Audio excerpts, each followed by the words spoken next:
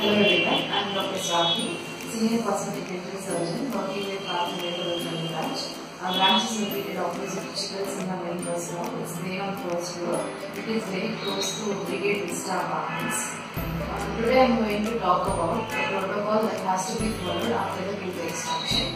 Tooth extraction is nothing but removal of the tooth. If you follow these instructions, you will not develop any kind of complications like dry socket or swelling or prolonged bleeding. So first one is you should bite on cotton that has been kept up at the extraction site in first 30 to 45 minutes. After 45 minutes, wash your hands thoroughly and take out take out your cotton. Uh, don't try to touch the extraction site with your bare fingers. After removing the cotton, you can have something very cold like a cup of ice cream. Uh, we would have done the extraction procedure usually under local anesthesia, which wears off within a span of one and a half to two hours. Before local anesthesia wears off, you should take the medications to prevent the uh, pain. So coming to your food consumption, you should avoid taking very hot, spicy and hard food stuff in first 24 hours. You can be on soft diet uh, which is at room temperature.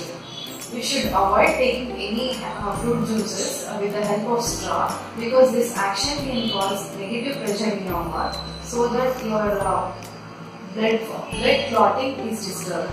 So next one is uh, you should avoid heavy lifting or vigorous exercises next day morning.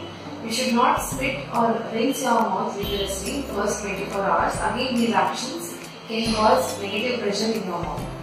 So uh, next one is you should not smoke or drink alcohol in first 48 hours.